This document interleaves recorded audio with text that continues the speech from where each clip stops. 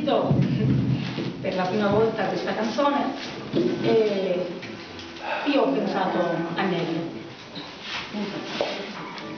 E, e ho pensato alla sua casa.